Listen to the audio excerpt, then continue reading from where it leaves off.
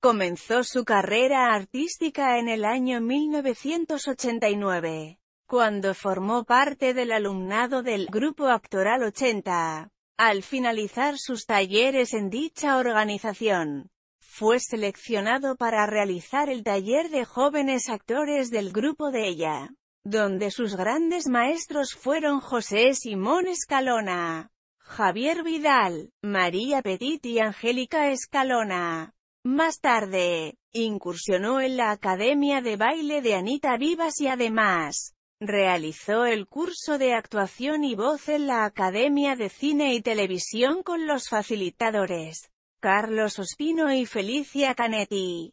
Participó junto a Catherine Correia y Verónica Raskin en el programa de televisión infantil, El Club Disney, transmitido por RCTV. Si bien en la primera temporada del mismo en 1991 lo acompañaban Patricia S. Chemel y Noelia Sotillo. En 1999 condujo el programa Arriba Juventud en RCTV junto a Camila Canaval.